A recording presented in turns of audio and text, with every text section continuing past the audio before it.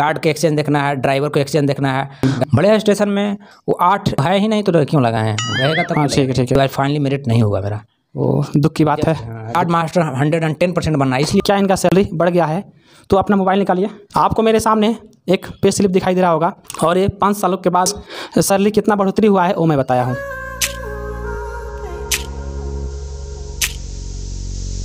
नमस्कार दोस्तों हमारे बीच है पॉइंट्समैन जो ग्रुप डी श्रेणी के कर्मचारी हैं और ये पाँच साल से जॉब कर रहे हैं। तो आज हम जानेंगे कि इन्होंने पाँच साल में यानी क्या प्रमोशन पा लिया है और सैलरी क्या बढ़ोतरी हो गई है और इनको क्या क्या सुविधाएँ अभी मिल रही है।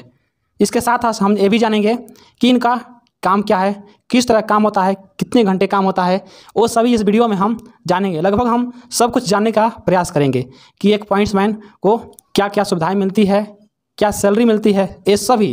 तो चलिए दोस्तों आज की वीडियो हम शुरू करते हैं। सबसे पहले आप अपना परिचय बता दीजिए। मैं नागेंद्र कुमार बिहार का रहने वाला हूँ और पॉइंट्समैन में एससीआर में जॉब करता हूँ जो कि गुंडकल डिवीज़न में पड़ता है। मेरा स्टेशन बिमल पाड़ू है। बिमल पाड़ू। हाँ मैं 2016 में ज्वाइन किया था और आज 2021 हो गया है। लमसम पाँच साल मेरे जॉब के हाँ मेरे जॉब का पाँच साल हो गया है। और मेरी फ़र्स्ट टाइम सैलरी जो तो बेसिक सैलरी थी अट्ठारह हज़ार रुपया था जो अठारह सौ ग्रेड पे में आता था। पहले आप बताइए आपको काम किस तरह रहता है? देखिए वहाँ पॉइंट्समैन में वहाँ मेनली दो तरह के काम होते हैं। एक होता है ऑल राइट एक्सचेंज करना दूसरी होता है संटिंग करना। सेंटिंग करना हाँ ऑल राइट एक्सचेंज में क्या होता है कि ऑफ़ साइड में जाकर है ना जब गाड़ी जाती है उसमें गाड़ी में सारे चीज़ को देखने पड़ता है। जैसे कि उसे गार्ड को एक्सचेंज देखना है ड्राइवर को एक्सचेंज देखना है गाड़ी सेफली मोड में जा रहा है वो देखना है। कहीं बैगन ओपन है ये वो देखना है। कहीं फ्लैट टायर तो नहीं है है ना? कहीं गाड़ी बर्निंग तो नहीं हो रही है। ये सारी ऑफ़ साइड में देखते हैं। ऑन साइड में मास्टर होता है जो कि देखता है। फ़र्स्ट और सेकंड होता है संटिंग करना। संटिंग मेन काम होता है उसमें क्या होता है कि जब दो गाड़ी आती है तो पावर चेंजिंग होता है। उसमें पावर चेंजिंग में क्या होता है कि एक गाड़ी का पावर दूसरे में कट करके डालना है दूसरे गाड़ी का पावर फ़र्स्ट में डालना है। उस वक्त है उसमें दो पाइप होते हैं एक एफपी होता है एक बीपी होता है। उस समय में एफपी और बीपी दोनों को क्लोज करते हैं इसके बाद फॉर्मेशन के है ना फॉर्मेशन का पाइप को क्लोज करते हैं इसके बाद जो है क्या पाइप कटिंग करते हैं। पाइप कट करने के बाद जो है वो क्या करता है ड्राइवर आगे गाड़ी बढ़ाता है और पावर है ना पावर कट कर जाता है। हाँ इसके बाद जो है दूसरा फिर दूसरा में भी वही करना है। दूसरे तरफ़ गाड़ी में भी वो दोनों पाइप को क्लोज करना है। इसके बाद जो है ना पावर कट कर देना है। इसके बाद वो स्टेशन मास्टर के द्वारा मूवमेंट होता है। वो दोनों गाड़ी को मूवमेंट होता है। इसके बाद फ़र्स्ट का पावर सेकंड में सेकंड का पावर फ़र्स्ट में अटैच कर दिया जाता है। शायद आपको समझ में नहीं आया होगा। किसी दिन मैं इनका लाइव वीडियो दिखाऊँगा और किस तरह से ये काम करते हैं सभी कुछ मैं उस वीडियो में लाइव दिखाऊँगा। अभी कोरोना का संक्रमण है इसलिए वो नहीं दिखा सकता हूँ। जो बताए हैं फ़िलहाल उसी से आप लोग काम चलाइए। और आगे जानते हैं आपका टाइम कितना था? इसे ड्यूटी जो टाइम रहता है। ड्यूटी टाइम देखिए ड्यूटी टाइम क्या होता है कि छोटे स्टेशन में ट्वेल्व आवर का रोस्टर होता है वीकली फाइव डेज़ होता है जिसमें साठ घंटा का रोस्टर होते हैं।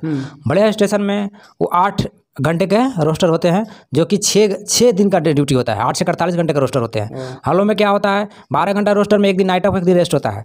लेकिन वो आठ घंटे के ड्यूटी में नाइट ऑफ़ आसान भाषा कोशिश कीजिए।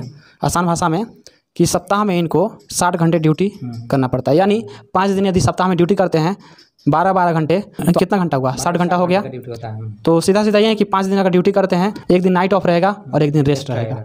यही है।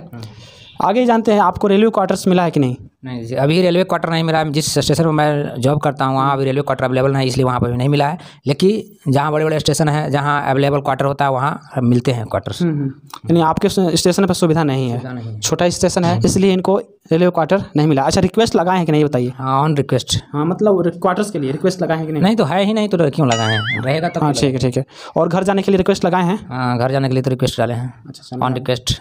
अभी वो क्या प्रोसेस में है? अभी प्रोसेस में है अभी लिस्ट बन चुका है लेकिन अभी फॉरवर्डिंग नहीं हुआ एनओसी के लिए वो अभी प्रोसेस में है जैसे अब आगे जानते हैं दोस्तों कि सब कोई बोलता है कि मैं भी बोलता हूँ कि पॉइंट्स मैन बहुत ही ज़्यादा प्रमोशन होता है। यानी उसमें आप एलडीसी एग्ज़ाम दे के प्रमोट हो सकते हैं। गुड्स गार्ड स्टेशन मास्टर बन सकते हैं। तो ये चीज़ हम इनसे पूछते हैं, क्या ये अब तक क्यों नहीं बने हैं? वो सब जानते हैं। अच्छा अब तक आप एलडीसी एग्ज़ाम के थ्रू गुड्स गार्ड या स्टेशन मास्टर क्यों नहीं बने हैं? देखिए, अभी ना बनने का रीज़न क्या है कि फ़र्स्ट टाइम वो एजिबिलिटी लिस्ट मैंने फाइव ईयर दिया था।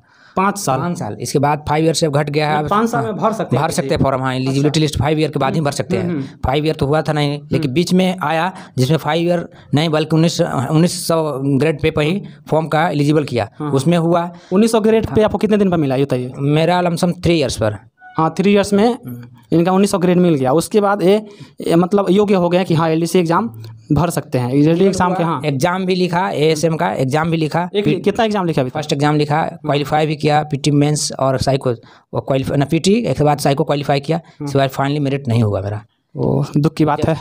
दुख की बात है कि आपका मेरिट लिस्ट में नाम नहीं आया। प्रयास जारी। प्रयास जारी है और अभी मेहनत में लगे हुए हैं। अभी टीसीसी के वैकेंसी भरे हैं। अभी इसके बाद भी एएसएम का एग्ज़ाम होने वाला है। जो आया है twenty five percentage matric basis वो ग्रेजुएशन बेसिस है इसके पहले हुआ था से देखिए अभी पाँच साल इनका सर्विस इनका सर्विस कंप्लीट हो गया। तीन साल बाद तो इनका योग्यता हुआ भरने के लिए एलडीसी एग्ज़ाम उसके बाद तीन साल के बाद अभी दो साल का समय में इन्होंने एक बार एलडीसी का फॉर्म भरा है, जिसमें इनका मेरिट लिस्ट में नाम नहीं आया। ये दुख की बात है। ठीक है कोई बात नहीं। आगे भी इनका प्रयास है कि और आगे भी प्रयास करते रहेंगे। तो आगे मेहनत जैसे इसमें ये क्या है कि जो ऑपरेटिंग डिपार्टमेंट में है उसको guard master hundred and ten percent बनना है। इसलिए कि उसमें वैकेंसी कंटिन्यू आती रहती है। और इसमें हर दो साल से नीचे में यानी दो साल तक मैंने कोई ना कोई वैकेंसी या मास्टर के आ जाए या गार्ड का आ जाए या टीसीसी के आ जाए कोई ना कोई आते ही रहता है। इसलिए इसमें चिंता करने का विषय ना है। दो साल में बने तीन साल में बने चार साल में बने पाँच साल में master guard TCC hundred percent बनेगा। बेसिक, अब सैलरी की बात कर लेते हैं, उसमें सब कुछ मालूम चल जाएगा, क्या इनका सैलरी बढ़ गया है। तो अपना मोबाइल निकालिए। इनका अर्निंग जो अप्रैल महीने का है, वो अर्निंग मैं आपको बता रहा हूँ। इनका बेसिक पे अभी इक्कीस हज़ार एक सौ है। उसके बाद डियरनेस अलाउंस, इनको पैंतीस सौ सत्तासी रुपया मिला हुआ है।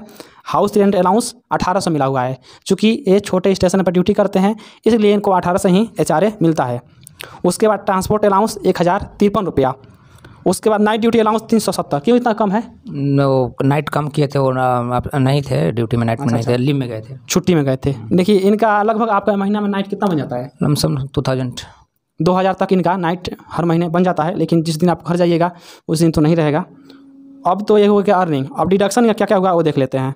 इनका एक रेलवे एम्प्लॉय इंश्योरेंस में तीस रुपया डिडक्शन हुआ है। उसके बाद न्यू पेंशन स्कीम में पेंशन स्कीम में इनको चौबीस सौ उनहत्तर रुपया कटौती हुआ है।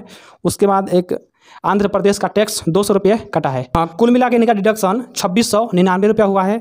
ग्रोस पेमेंट सत्ताईस हज़ार नौ सौ दस रुपया में से आप छब्बीस सौ निन्यानवे रुपये निकाल दीजिए। कितना हुआ? तो नेट पे इनका पच्चीस हज़ार दो सौ ग्यारह रुपया आ रहा है। आपको मेरे सामने एक पे स्लिप दिखाई दे रहा होगा। वो पे स्लिप आप इनका पढ़ सकते हैं। रोक के इस वीडियो को आप पढ़ सकते हैं और देख सकते हैं। ये रहा इनका सैलरी पाँच सालों में जो बढ़कर हुआ है वो।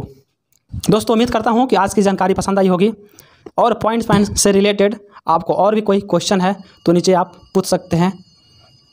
धन्यवाद दोस्तों।